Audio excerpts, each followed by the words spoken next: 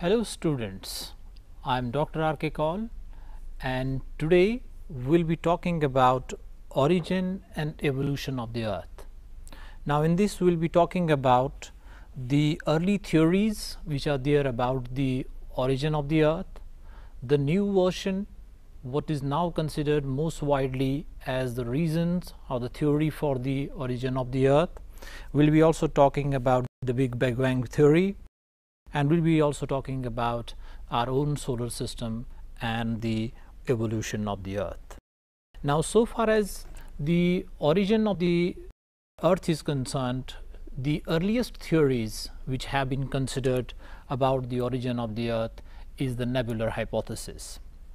This hypothesis was forwarded by uh, postulated by uh, Immanuel Kant and uh, was later revised by Laplace in 1796. This hypothesis considers the planets were formed out of a nebula, a cloud of materials associated with a youthful sun which was slowly rotating and later on Chamberlain and Moulton also considered that a wandering star approached the sun and as a result a cigar shaped extension of the material was separated from the surface. As the passing star moved away the material separated from the solar surface and continued to revolve around the sun and it slowly condensed into planets. The modern theories about the origin of the earth are most convincing among them is the Big Bang theory and it is also known as the expanding universe hypothesis. In the Big Bang theory, the three main stages which are considered in the evolution of the universe as such because this theory is by far not only concentrating upon the origin of the earth it eh, is in fact addressing to the whole concern of the origin and evolution of the universe as such. It considers that uh, all matter forming the universe was initially forming a tiny ball, a singular atom with an unimaginably small volume, infinite temperature and of infinite density. Within 300,000 years from the Big Bang, temperature dropped to almost 4500 Kelvin and gave rise to atomic matter. The universe became transparent. Now, these stages in the Big Bang theory talk about the formation of the universe as a whole and they do not give any specific example of only the formation of the earth as such. This also talks about the formation of the star uh, that is the formation of the present remnant that is the sun itself. The distribution of matter and energy was uh, not even in the early universe. Let us have a look at what uh, was the stages in the formation of the planets. In the first stage, stars are localized lumps of gas with a nebula. The gravitational force within the lumps leads to the formation of a core to the gas cloud and a huge rotating disk of gas and dust develops around the gas core. In the next stage, the gas cloud starts getting condensed and the matter around the core develops into small rounded objects. These small rounded objects by the process of cohesion and develop into what is called as planetesimals. Larger bodies start forming by collision and gravitational attraction causes the materials to stick together. And in the final stage, these large number of small planetesimals accrete to form a fewer larger bodies in the form of planets. Now, let us have a look at the formation of the solar system. The nebula from which our solar system is supposed to have been formed started its collapse and co-formation sometime 5 to 5.6 billion years ago and the planets were formed about 4.6 billion years ago. When we talk about our solar system, it what it consists of, it consists of the sun, the star about which we talked about just now, the eight planets, almost 63 moons, millions of small bodies like asteroids and comets and huge quantity of dust, grains and gases and when we talk about planets which were formed about some 4.6 billion years ago. Now have a look at this uh, geological time scale with respect to formation of different uh, aspects in the universe. When we talk about the origin of the stars, it happened from 13,700 million years to 5000 million years. Origin of the sun is itself 5000 million years. Now then thereafter we can also talk about formation of the atmosphere and rich in carbon dioxide, the oceans and continents 3800 to 4800 million years ago. We can also talk about the first reptiles 286 to 360 million years ago.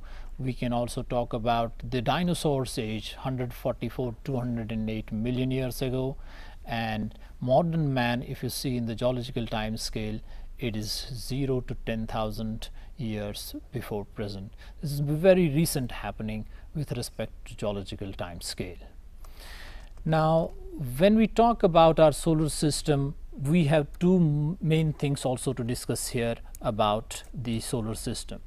Those stars which lie inside the ring up to the belt of asteroids are known as inner planets and those beyond that are known as terrestrial planets. These are also known as the four the rest of the four beyond asteroids are also known as Jovian planets.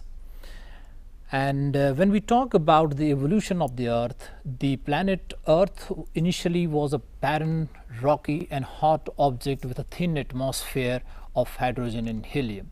This is by far from the present day atmosphere of the layered structure of the earth.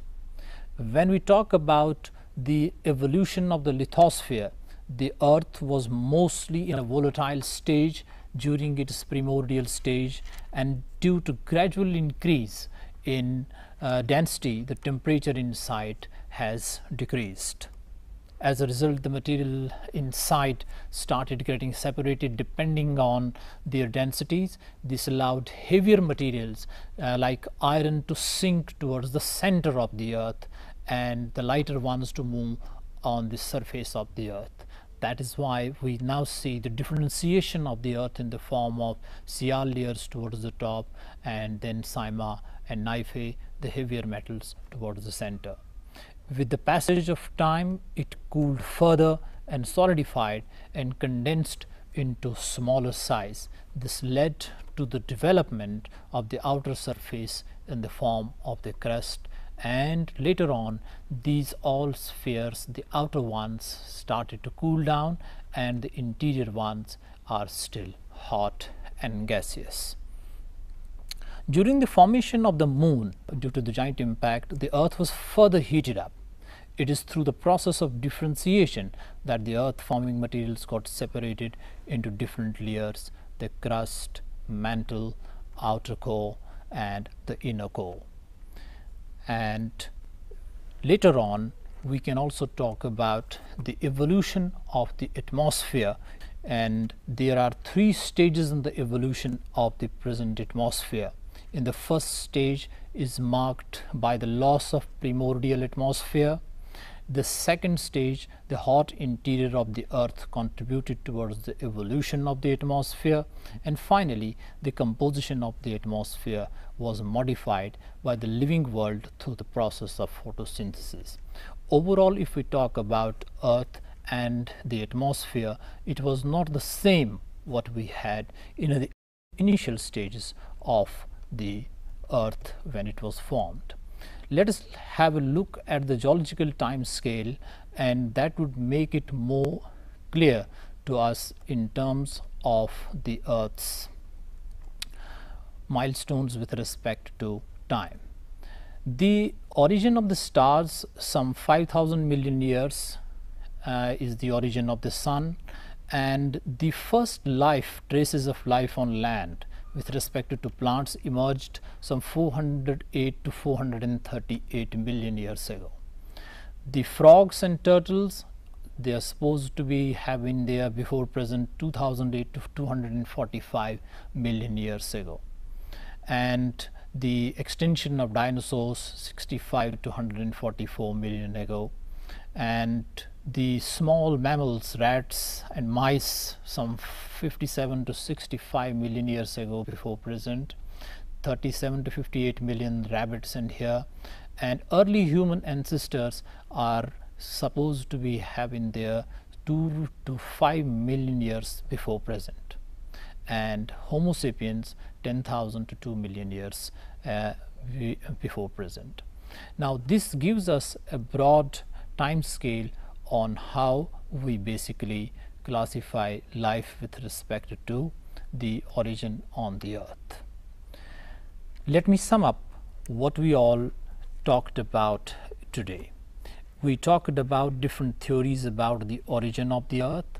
The earliest theories were basically talking about the nebular hypothesis, earth being in the form of a nebula. Later on and they were talking about the formation of the uh, earth as such. But later on uh, the scientists tried to address this problem as uh, as a, as a origin of universe rather than evolution of the earth itself. The star formation is uh, one of the important aspects when we consider the big bang theory. And there are three stages with respect to the formation of the big bang theory the formation of planets has also been uh, discussed that it happened in stages and uh, with respect to that we also talked about our solar system the inner planets the terrestrial planets and the jovian planets. We also talked about the evolution of the earth how the evolution of lithosphere took place and the evolution of atmosphere and hydrosphere took place